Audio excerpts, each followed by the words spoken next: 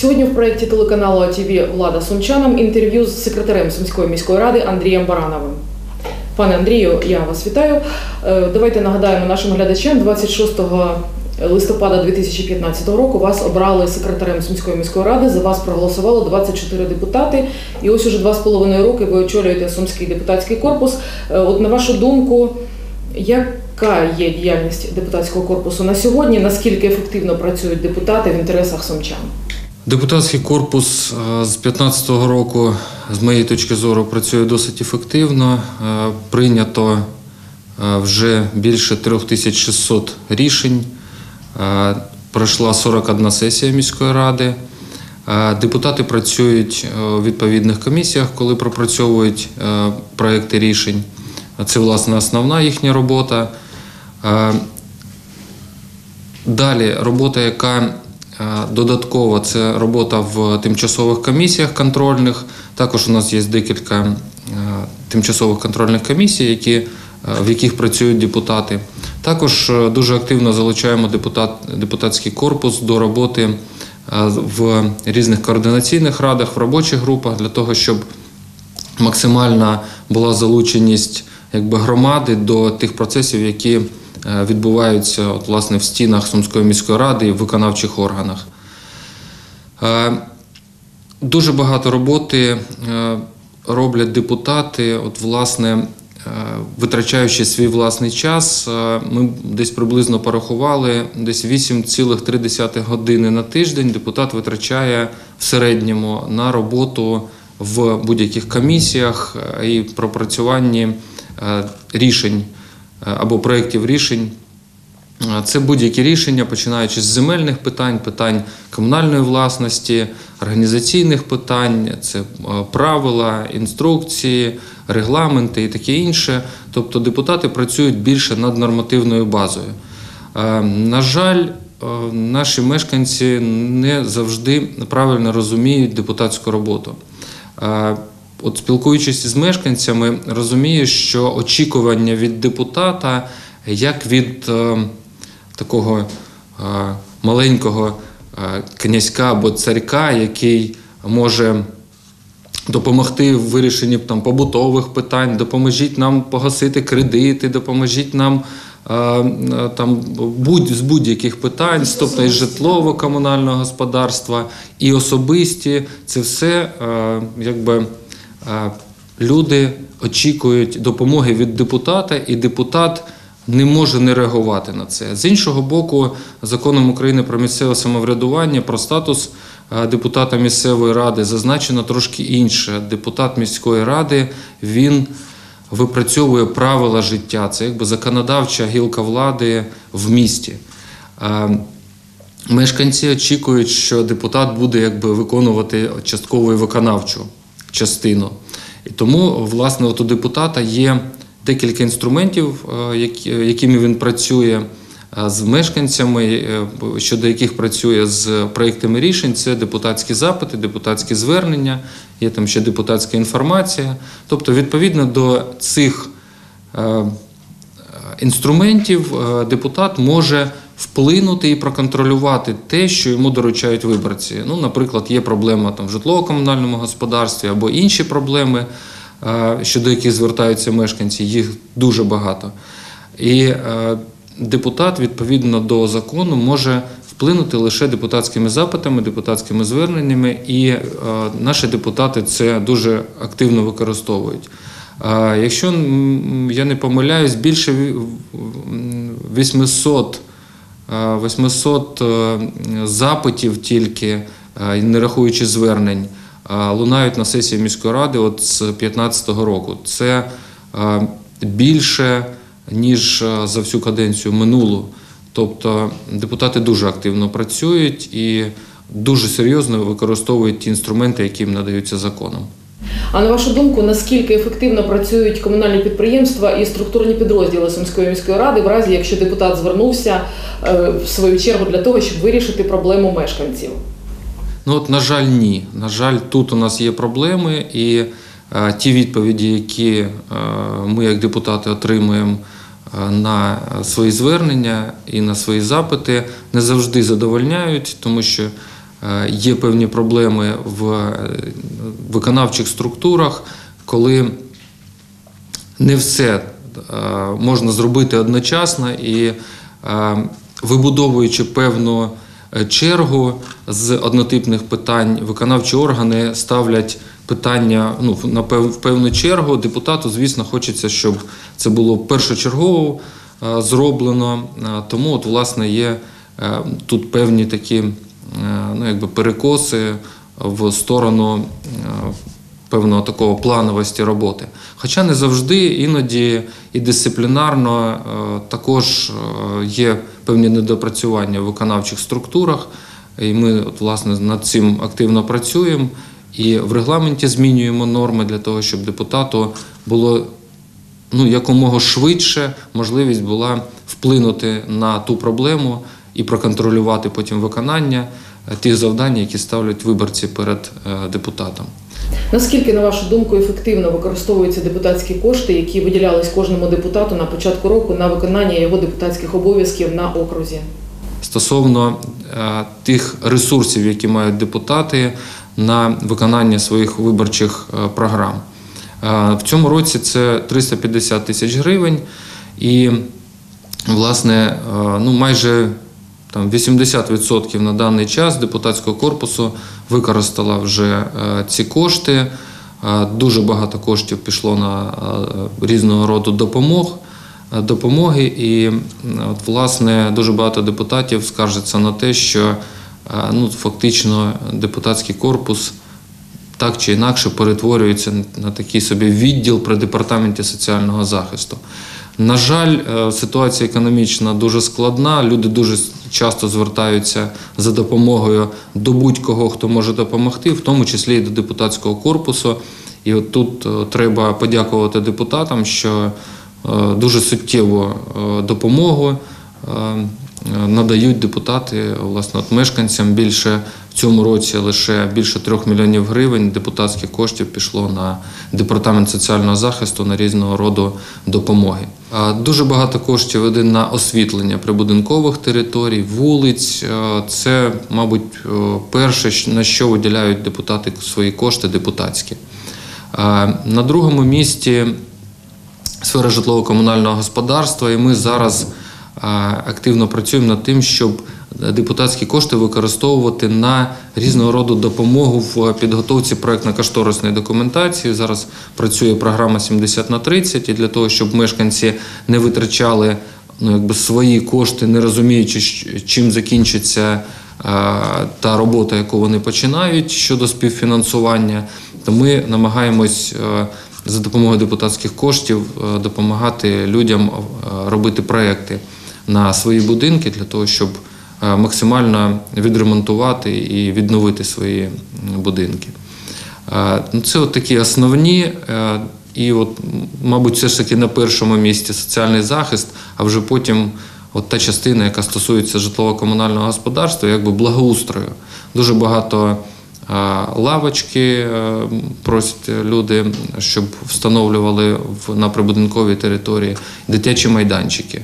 Це також е, дуже часта проблема, е, що застарілі майданчики люди хочуть оновлювати. Ми намагаємось максимально допомагати тим, хто і власними силами намагається оновити те, що в них було з радянських часів, відновити. І ми намагаємось додатково встановити декілька елементів, щоб розширити дитячий майданчик, встановити огорожу, тобто такий зробити знову ж таки благоустрій. Кожен депутат намагається лобіювати свій мешканців і будинки свого округу для того, щоб вони все ж таки були профінансовані. Ну, ми намагаємось держ- тут тримати баланс для того, щоб максимально рівномірно охопити всі округи, яких у нас, до речі, 42. І е, 14 округів ми взагалі, е, ну, якби законодавець так прописав виборчі, виборчу систему, що 14 округів взагалі залишились без депутата. Ну, е, знову ж таки, хочу подякувати депутатам, що деякі депутати і по два, і по три, і навіть більше округів беруть для того, щоб допомагати і не залишати мешканців взагалі без округу. Ми намагаємось максимально розподілити депутатський корпус для того, щоб люди рівномірно отримували цю допомогу депутатську. є е, думка, що депутат е, працює на, е, за кошти е, в міській раді, то хотів би також сказати, що е, депутати не, не отримують заробітної плати. У них є оці депутатські кошти, але це не депутатські кошти, які він там до кишені кладе, а потім видає. Це депутатські кошти, які закріплені в бюджеті. І е, як і всі інші витрати бюджету, вони також проходять погоджувальні ради, сесії і наші виконавчі структури. Е, Тому, е, от, на жаль, люди сприймають, що депутатські кошти це витягнув із кармана і профінансував все те, що хочеться фінансувати. От, власне, наша основна така робота. Хочу запитати про ваші е, дипломатичні здібності. Ви члени Всеукраїнського об'єднання Батьківщина і більшість депутатів у Сумській міській раді, також представники партії Батьківщина. Е, Це ваші однопартійці, але бувають такі е, питання і рішення в залі, коли треба, ну скажімо, прямо домовитись з депутатами інших фракцій для того, щоб прийняти те чи інше рішення. Наскільки складно це зробити? На кожній сесії є такі питання, коли е, ми домовляємось е, з керівниками фракції щодо тих чи інших питань. Є політичні питання, де кожна фракція займає якби таку свою позицію відповідно до партійної е, орієнтації. Е, В господарських питаннях ну, практично немає у нас е, таких питань, які ну, дуже суттєво е, розрізняють політичні партії. Можливо, вони там були е, щодо черговості, знову ж таки, відстоювання певних інтересів. Коли е, починається відстоювання певних інтересів своїх фракційних або політичних, тоді важкувато. Коли, це, е, коли ця робота йде навколо господарських питань, е, то тут трошки легше. Тут всі розуміють, що потрібно робити, і починається власне вже робота над власне документом, регламентом або іншим документом, е, який е, виноситься на в зал для того, щоб його проголосувати. Е, Тому тут трошки легше. От з політичних питань. Є також проблеми, але вони, знаєте, не полярні. Вони от десь близько один біля одного, і ми лише, е, знаєте, так, дуже серйозно вичитуємо власне рішення для того, щоб формулювання було ну, таким, що достойно буде е, е, Сумської міської ради. Тут також трошки легше. А взагалі депутатський корпус там наполовину дуже молодий, тому всі молоді сучасні люди розуміють, що розвиток це перш за все, тому якась політика у нас е, буває тільки на е, загостренні політичних е, таких перипетій. А ви не пробуєте переконати депутатів, що єдина партія, яка має бути в їх роботі, це партія сумчан? Всі розуміють, що депутати міської ради працюють для сумчан, але ж є певні політичні погляди, політичні лідери, за якими йде політична партія. Тому, от, власне, кожен відстоює свою політичну силу. Е, Тут агітувати, е, я вважаю, зайве, тому що кожен обрав свою політичну, політичний напрямок. Ми тут працюємо і агітуємо фактично своєю роботою наших мешканців. Тому от хто як спрацює, тот з тим багажем і піде на наступні вибори.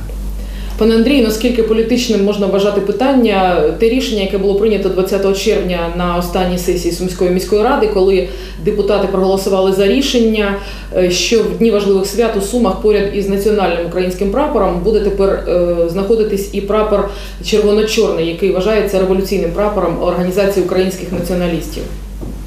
Питання дуже неоднозначне, і я хотіла б почути вашу думку. Це питання виносилось неодноразово до залу, але ми е, ініціаторами були ті партії, які розуміють, що це потрібно, і які готові були віддати свої голоси в повному складі. Але було, е, була дискусія лише над формулюваннями, те, про що я казав. І от, е, власне, на минулій сесії була така невеличка перерва. Ми погоджували формулю- формулювання і, власне, вже вийшли з погодженим і е, таким пропрацьованим, пропрацьованим рішенням. І от, власне, набрали 24 голоси. Е, Ну, звісно, не всі хотіли е, бачити червоно-чорний прапор в місті Суми. Особисто я голосував за це питання. Я думаю, що ті фракції, які є ініціаторами, це Свобода, Батьківщина і за Україну, і самопоміч. А от власне чотири фракції були ініціаторами, і ми власне прийняли це рішення. І ну, насправді воно дуже важливе для міста. Свого часу Суми стали першим містом в Україні, де підняли прапор Євросоюзу. Е, Сьогодні червоно-чорний прапор це також унікальне рішення перше в Сумах, чи все-таки є і в інших містах? Да, стосовно червоно-чорного, тут ми не перші, але й не останні. Е, Тому я маю надію, що е, більшість рад в Україні е, затвердить е, також червоно-чорний прапор прапором, який е, гідний того, щоб його піднімати біля нашого державного прапору, і гідний того, щоб діти, які будуть запитувати, а що це за прапор, хто не знає, щоб батьки могли розказати, а що це за прапор і чому власне він такий важливий, що депутати голосують за те, щоб він нах- знаходився поруч з державним. Я знаю, що зараз іде робота над стратегією розвитку міста Суми. На якому етапі ця робота, хто залучений до неї і коли буде результат? Е, Стратегія розвитку міста, е, ну, точніше, старт над її роботою був е, ще розпочатий в минулому році. Була створена координаційна рада при міському голові з питань розробки стратегії. До цієї координаційної ради входять керівники фракцій, заступники міського голови. Е, Ті люди, це якби наш політичний орган, який е, розділяє відповідальність за місто е, із міським головою, з депутатським корпусом, власне, за розробку стратегії. Ми зараз розбили роботу над стратегією, над розробкою стратегії на дві частини: це аналітична частина і практична частина. Аналітична частина у нас складається з чотирьох етапів.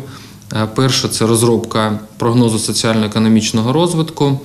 Е, Ми бачимо е, і договори вже заключені, і Сумський державний університет зараз займається цим питанням, як в принципі і в більшості районних центрів Сумської області, і займається також питанням розробки стратегії взагалі Сумської області.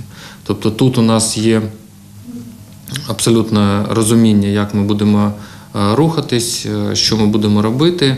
І ми розраховуємо, що до кінця е, літа ми отримаємо прогноз соціально-економічного розвитку е, до 27-го року, з 20 по 27.